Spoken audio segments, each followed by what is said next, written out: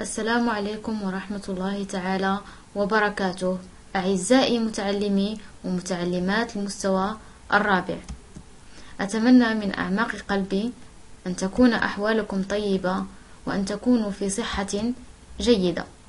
إذا أحبائي في هذا الشريط أنجزت لكم مراجعة بسيطة جدا حول الحصتين الخامسة والسادسة من الوحدة الخامسة من مادة النشاط العلمي.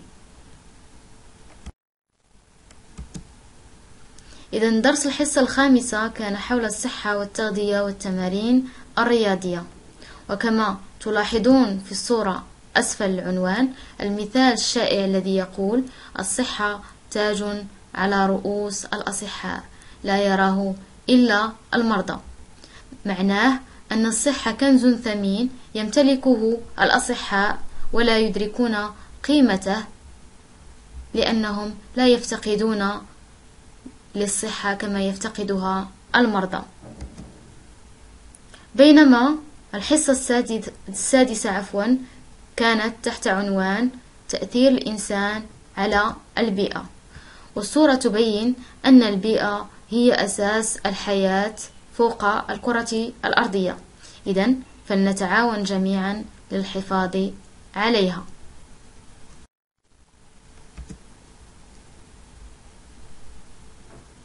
أنتقل وإياكم براعم الصغار إلى مراجعة الحصة الخامسة. والسؤال الذي يتبادر دائما إلى أذهانكم هو كيف أحافظ على صحتي بالتغذية والتمارين الرياضية؟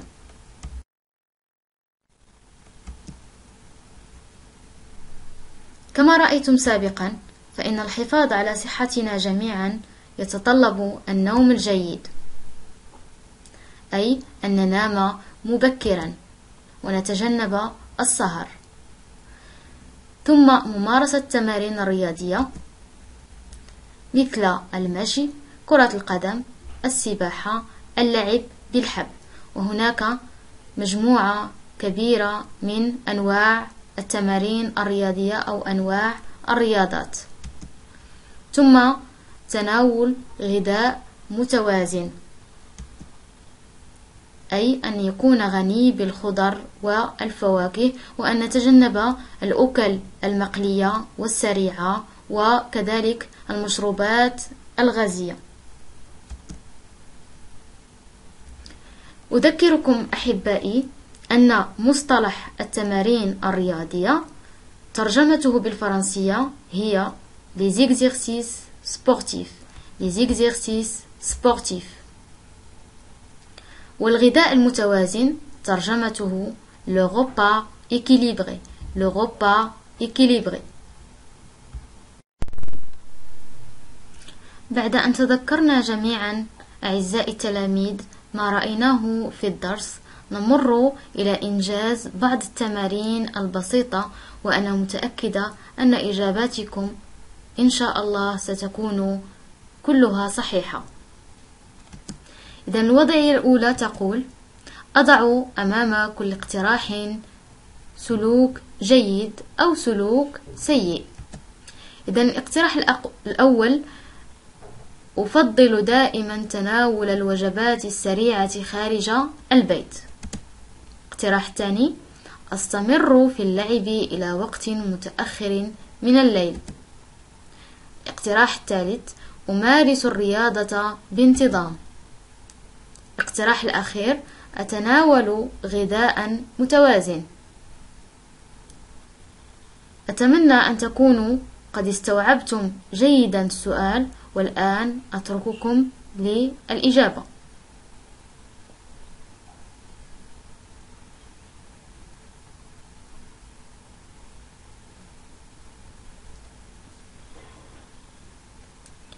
بعد أن انتهيتم من إجابتكم نمر وإياكم إلى تصحيح الوضعية الأولى. إذا أعزائي الاقتراح الأول فهو اقتراح سيء لأن الوجبات سريعة فهي مضرة بصحتنا.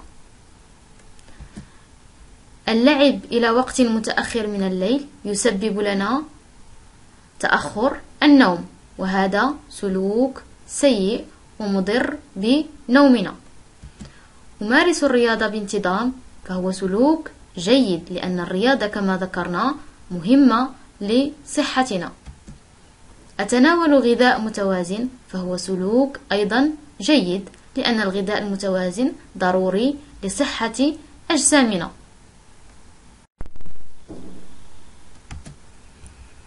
في الوضعية الثانية سنتعرف على نوع آخر من الأسئلة والسؤال يقول أضع علامة في أمام السلوك الذي يلائم صحتي.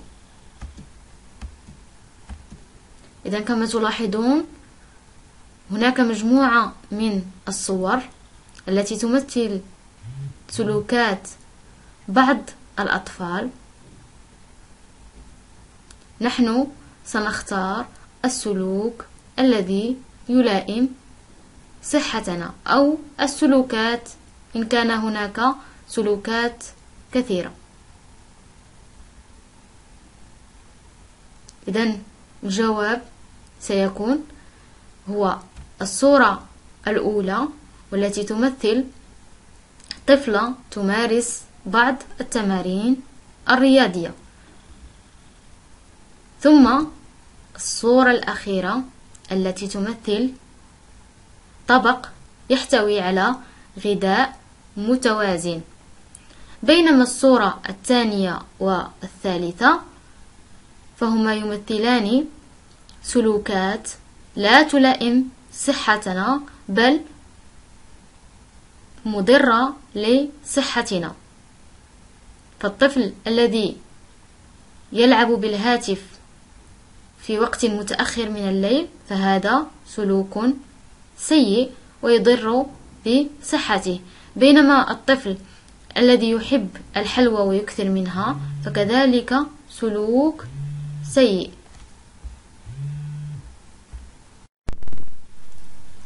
أعزائي التلاميذ أتمنى أن تكون إجاباتكم سليمة وأن تكونوا قد تمكنتم من تصحيح أخطائكم لأننا سنمر إلى وضعية ثالثة وهذه الوضعية تتطلب منا الكثير من التركيز.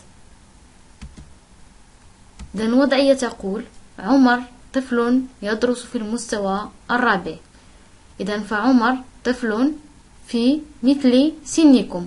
ويدرس في نفس المستوى الذي تدرسون به. إذا تعود عمر على مجموعة من السلوكيات المبينة في الصور التالية. كما تلاحظون أن عمر يستغل وقته كاملا في مشاهدة التلفاز واللعب بالهاتف في حين أن وجبته تتكون من أكلة سريعة وبطاطس مقلية مع مشروب غازي. إذا المطلوب منكم أعزائي هو الإجابة عن الأسئلة التالية التي لا تخلو من البساطة وجب فقط التركيز قبل كتابة الأجوبة. والسؤال الأول يقول ما هي الأخطاء التي يرتكبها عمر؟ السؤال الثاني بماذا تنصح عمر كي يحافظ على صحته؟ السؤال الثالث يقول متى يكون الغذاء متوازنا؟ وهذا السؤال فيه مراجعة للدرس الذي رأيناه وكذلك مراجعة لمكتسباتكم السابقة من السنة الماضية. إذن أترككم للإجابة عن الأسئلة.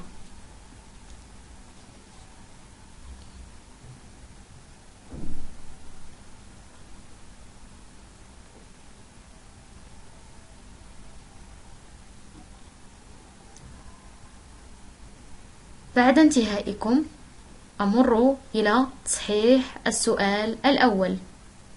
ما هي الأخطاء التي يرتكبها عمر؟ الأخطاء التي يرتكبها عمر هي الإكثار من مشاهدة التلفاز واللعب بالهاتف وهذا مضر بنومه وكذلك ببصره فكثرة مشاهدة التلفاز واللعب بالهاتف فهذا يضر بأعيننا مع غياب غذاء متوازن. لأن غذاء عمر يقتصر فقط على وجبات سريعة ومشروب غازي. سؤال تاني بماذا تنصح عمر كي يحافظ على صحته؟ أنصح عمر بأن يمارس الرياضة ويبتعد ما أمكن عن التلفاز والهاتف سؤال ثالث متى يكون الغذاء متوازنا؟ إذا الجواب يقول يكون الغذاء متوازنا حينما يحتوي على جميع المكونات الأساسية التي يحتاجها جسمنا وكما رأيتم في مقرر السنة الماضية فإن الجسم يحتاج إلى مكونات أساسية وهي البروتينات التي نجدها في اللحوم بجميع أنواعها الحمراء والبيضاء وكذلك في البيض. ثم السكريات. ثم الدهنيات. ثم الأملاح المعدنية والفيتامينات.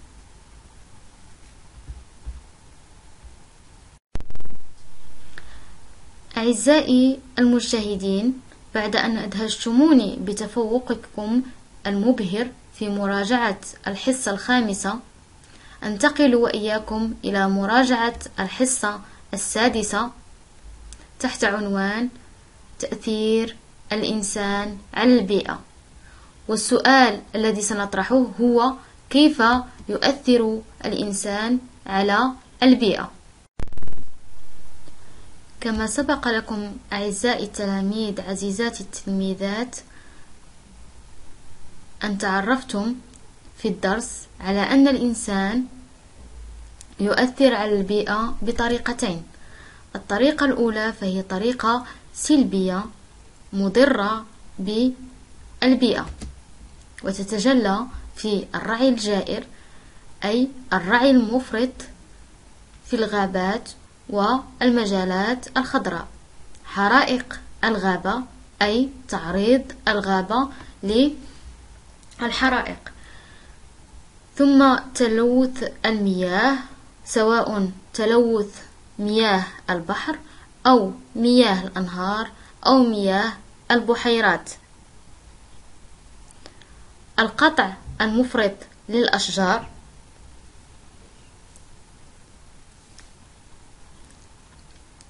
ثم طريقة إيجابية مفيدة للبيئة. تتمثل في المحافظة على النباتات وذلك بحمايتها وكذلك تشجير المجالات التي لا تتوفر على غابة. إذا إعادة تشجير الأشجار التي قطعت وتعويضها بأخرى جديدة. معالجة النفايات معالجة المياه المستعملة وإعادة استعمالها إنشاء المحميات لحماية الحيوانات المهددة بالانقراض. ودون أن ننسى المصطلحات التي تعرفنا عليها التلوث ترجمته هي la pollution. La pollution. النفايات les déchets. Les déchets. البيئة l'environnement. L'environnement. بعد تذكرنا للدرس نمر إلى تطبيق بسيط في الوضعية الأولى. والوضعية تقول أصل كل صورة بنوع التأثير إيجابي أم سلبي؟ لدينا مجموعة من الصور. نحن سنحدد نوع التأثير. هل هو تأثير إيجابي أي تأثير مفيد للبيئة أم تأثير سلبي مضر للبيئة؟ فكما تلاحظون في الصورة الأولى على اليمين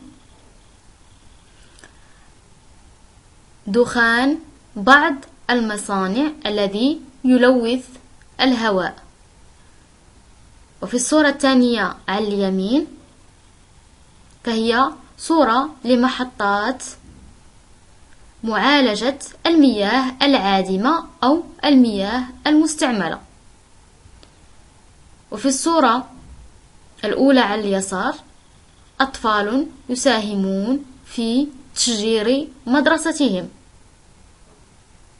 والصورة الأخيرة تمثل حريق في أحد الغابات. إذا المطلوب منكم أعزائي هو أن تصلوا بخط كل صورة بنوع التأثير.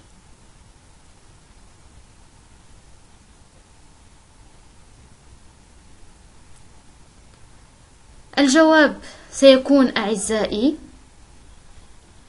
الصورة الأولى تمثل تأثير سلبي. الصورة الموالية تأثير إيجابي. الصورة الثالثة تأثير إيجابي. وآخر صورة تمثل تأثير سلبي. أتمنى أن تكون أجوبتكم صحيحة.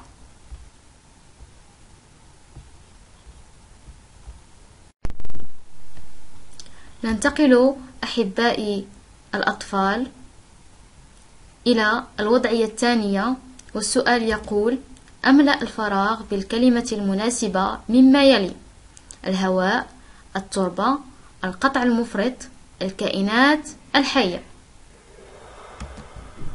إذا الجملة الأولى تقول يؤدي للأشجار إلى تدمير الغابة. إذا ما هو السلوك الذي يؤدي إلى تدمير الغابة؟ ثم كثرة استعمال المبيدات في المجال الفلاحي يلوث. إذا ماذا يلوث؟ إذا ماذا يلوث استعمال المبيدات؟ إقامة المحميات الطبيعية يساهم في الحفاظ على تنوع. إذا على تنوع ماذا؟ الجملة الأخيرة يؤدي طرح دخان المصانع إلى تلوث تلوث ماذا أيضا؟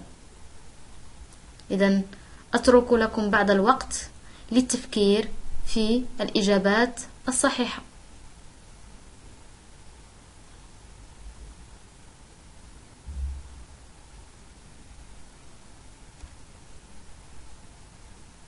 أتمنى أن تكونوا قد توصلتم فعلا إلى الأجوبة الصحيحة. وأنا سأمر إلى تصحيح الوضعية. إذا الجملة الأولى يؤدي القطع المفرط للأشجار إلى تدمير الغابة.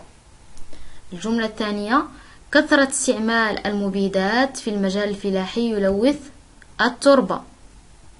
إذا كما تعرفون أن المبيدات تستعمل في التربة. إذا يضعها الفلاح على التربة لتخصيب التربة. فهي إذا تلوث التربة. إقامة المحميات الطبيعية يساهم في الحفاظ على تنوع الكائنات الحية. إذا يحمي الكائنات الحية المهددة بالانقراض. يؤدي طرح دخان المصانع إلى تلوث الهواء. ننتقل أحبائي إلى الوضعية الثالثة وهي آخر وضعية. وتقول سلمى طفلة تبلغ من العمر ثماني سنوات. شاهدت صديقتها زينب وهي ترمي الأزبال في الطريق وتقطع أوراق الأشجار. إذا السؤال الأول يقول أبرز كيف تؤثر زينب سلبا على البيئة؟ السؤال الثاني ما هي النصائح التي يمكنك تقديمها لزينب؟ السؤال الأخير حسب ما رأيته في الدرس كيف يمكننا حماية بيئتنا؟